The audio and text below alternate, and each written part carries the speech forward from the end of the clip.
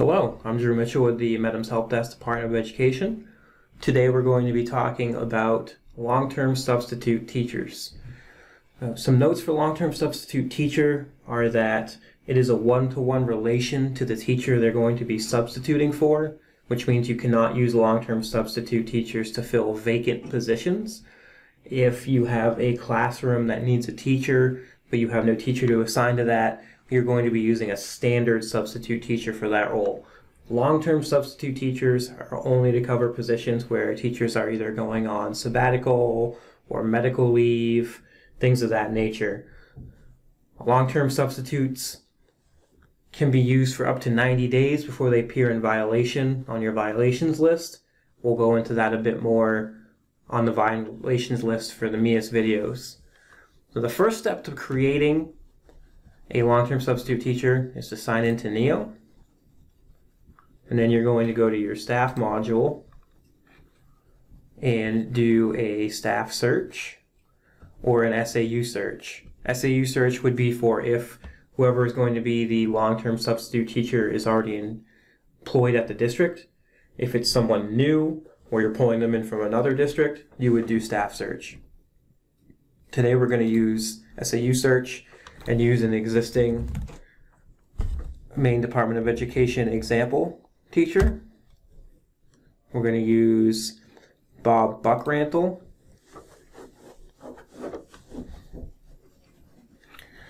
Already has a position as data specialist, but we're going to create a new position as a long-term substitute teacher.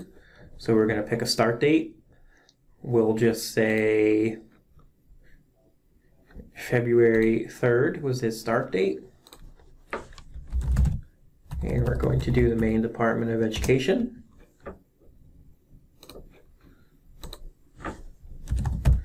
And it's going to be a substitute long-term teacher.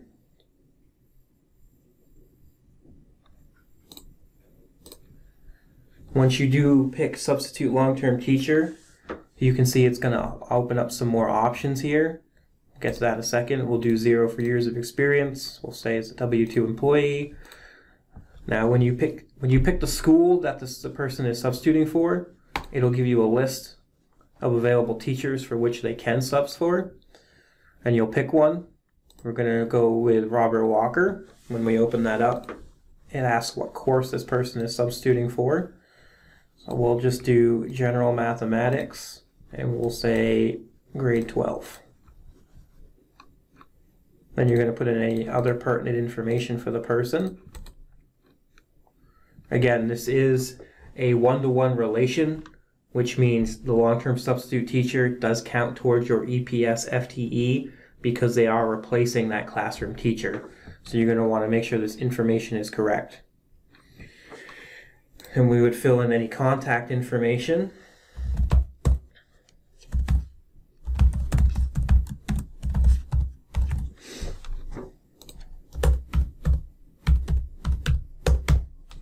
This information obviously doesn't exist. We're in our test environment. So before we save this, I want to make a note here. Once you hit submit, you want to make sure the position start date you're picking is accurate. If you do a future date, there is no way to go back in and correct that date. So if you pick, if I was to have picked 2-9, that position would not become effective until 2-9. There's no way for, for you or us to go back in and change that date.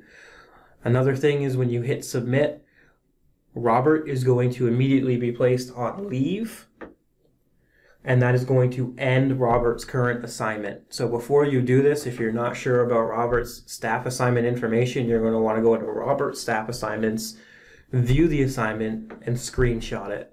There is other ways to access that information. If you go into Robert's assignments, you can change the assignment status at the top to ended or inactive, pending or on leave, and you can go in and get his information that way. So either way you want to do that, just be aware that once you submit this, it will immediately put Robert Walker on leave or whichever teacher you're picking, and then his assignment is done. If you when you end the substitute long-term teacher's assignment, it does not put Robert or the teacher you're picking back in their position. You have to go back and recreate their position, which is why I stress the importance of making sure you're aware of how to get to Robert's information or grab it and save it before you do this. So I'm going to go ahead and hit submit. And it's going to immediately create the long-term substitute teacher position and put Robert on leave. So if we go back to the Maine Department of Education, you can see that Robert is no longer listed here as an active assignment. You would have to go to staff search and look Robert up to get into his old staff information for his ended assignments or on leave assignments. Pretty straightforward there. If you have any questions, feel free to contact the help desk. We'd be happy to answer for them. And that's it. Have a great day.